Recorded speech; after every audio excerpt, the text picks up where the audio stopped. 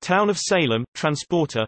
What happens if a transporter transes the Godfather so that he targets the mafioso? Does the mafioso kill himself since the GF orders the mafioso to kill his target, or does the GF kill the mafioso?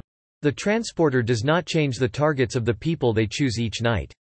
You may be thinking of the witch.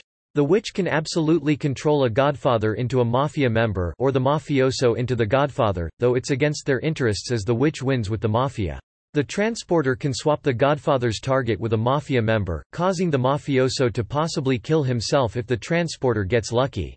For example, if Godfather targets the medium, but the transporter swaps the medium with the mafioso, the Godfather will order the mafioso to attack the house now occupied by the mafioso, the mafioso will kill himself. When a witch or transporter causes the Godfather to get attacked, his basic defense does not register, all attacks from his own mafia will kill him.